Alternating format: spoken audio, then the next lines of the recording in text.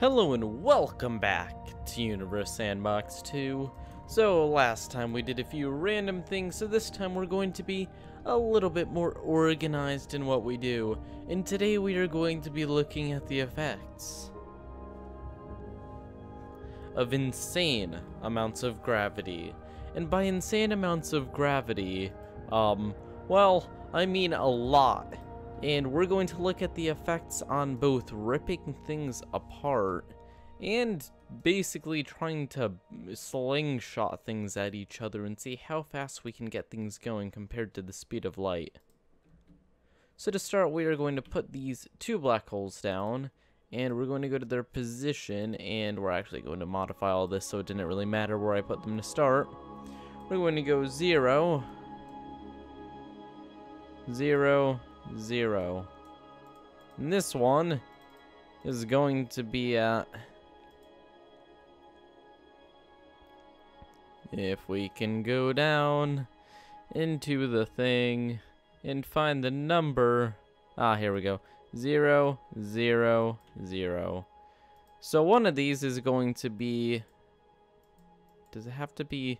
Can I switch it to AU? If I do one... AU. There we go.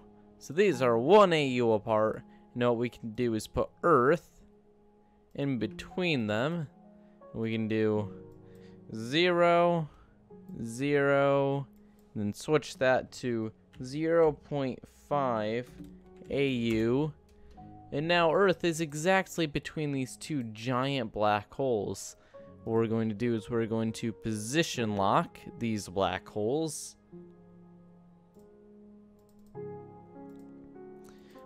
And we're going to leave Earth where it is. We're going to turn down time quite a bit because this is going to be very, very fast. So we're going to go at less than a millisecond per second, and here we are. So Earth is immediately going to start being affected. Um, we may have to go a little bit faster.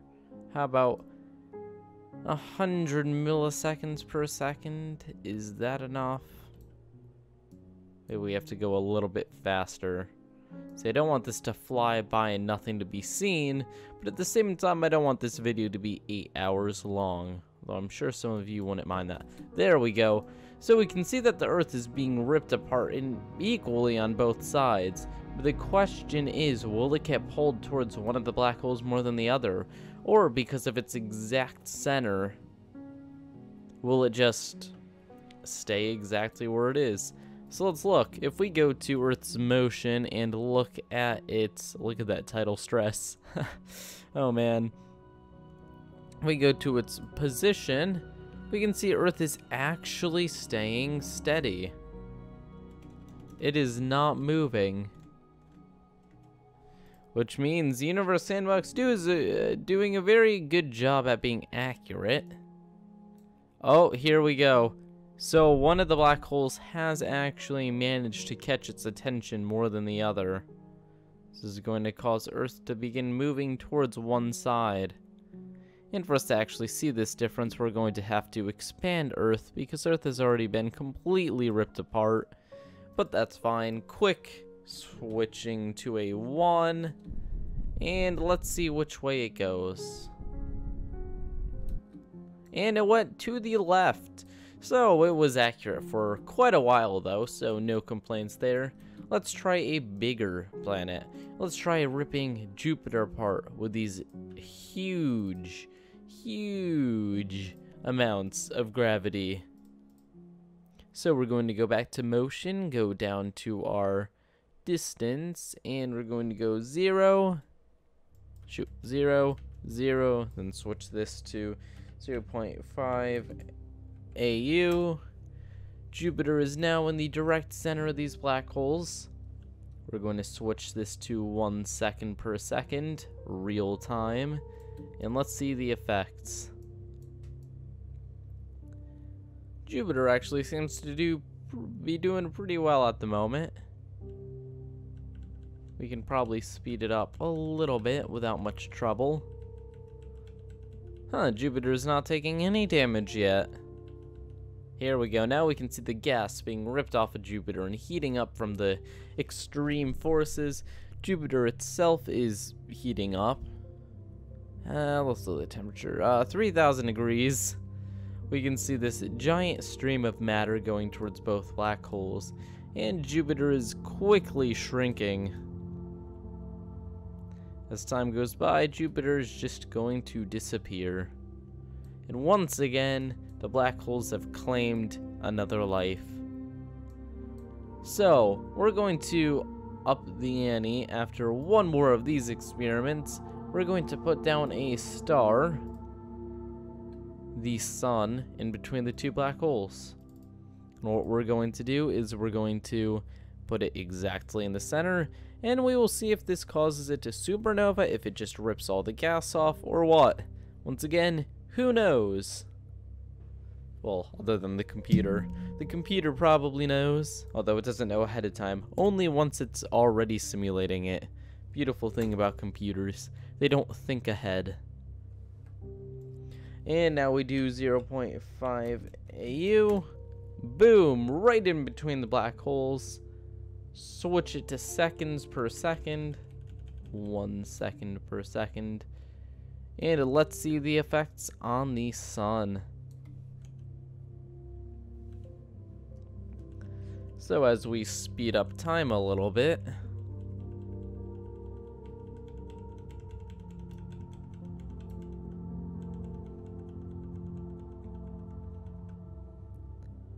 the sun is getting darker, probably because of the insane amount of gas being ripped off of it.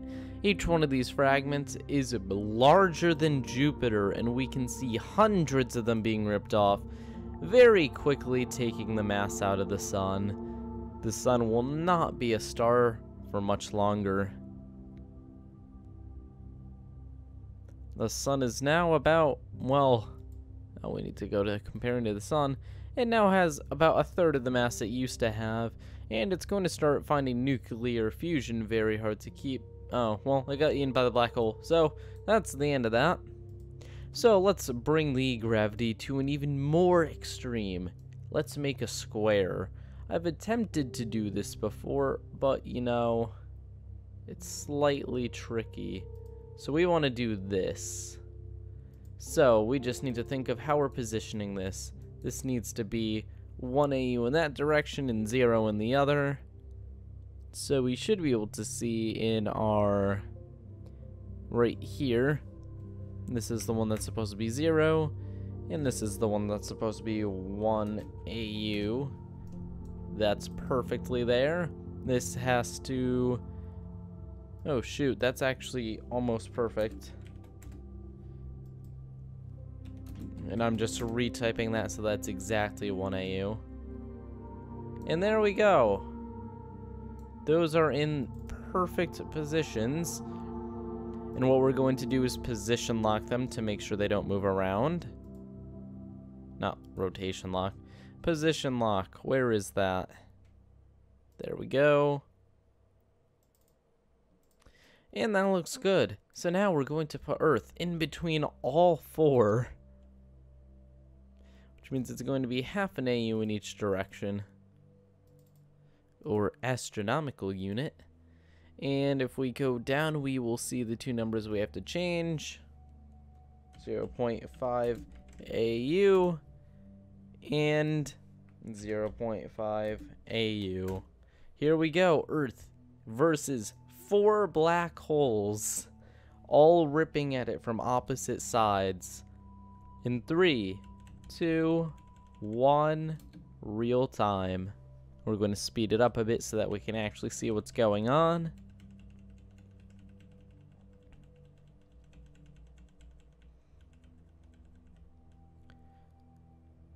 And any second now we're going to start to see... Look at that. The Earth is just being ripped apart in every direction. The rocks aren't even going in the four directions. They're just being ripped in every direction. That is absolutely insane. Because they are equally pulling in almost every direction. It's not even favoring one. We could make this even more intense by putting it in a cube arrangement where there is a black hole below and above, which we will do next. So let's watch as the Earth spits out the last amount of material it has. This is happening so quickly, it's not even heating up the Earth. And it's causing quite a bit of lag because of all the particles. And there goes all of that. The black holes have feasted. And now the final uh, test we have to do. This is going to be complicated. So if we have the black holes in the center here, these are all half of an AU away from Earth when they're tested. So what we have to do is we have to go black holes 10 million suns, or yeah, 10 million suns, plop it down, put it where Earth was before. So if we go to position, we just have to go 0.5 AU. I should actually just copy that. Paste. and this also has to be up by that much. Then we have to copy we'll make another one and have it go down by that much. But the good news is we're almost done.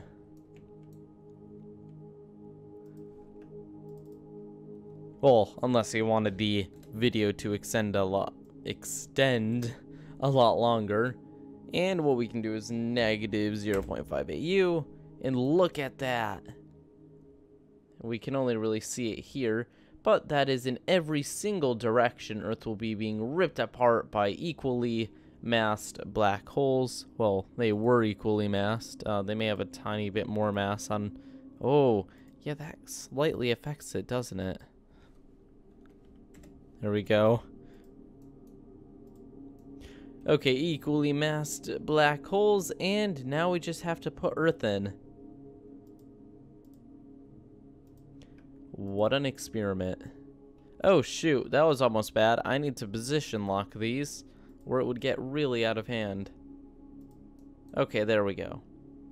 Now Earth is going to have to be put...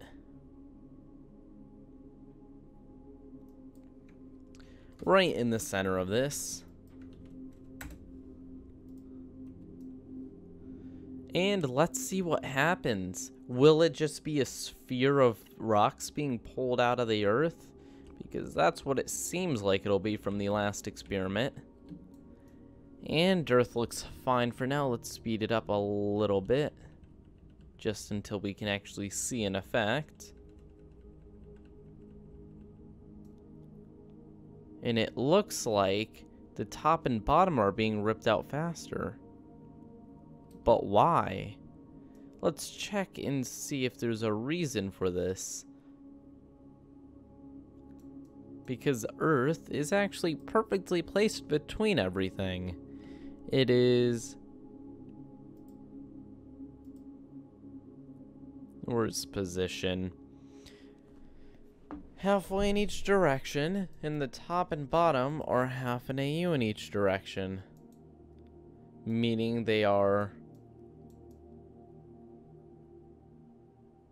equally spaced. As you can see right here, there's the same distance between these than these, which means that something is up in the game. It is not properly handling this. Huh.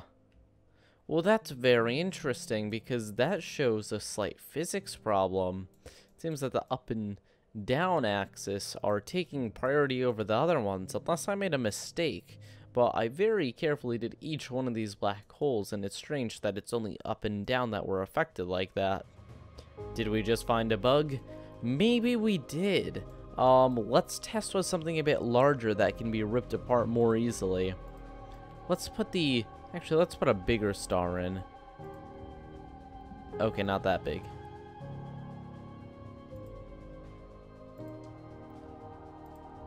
Not that big either.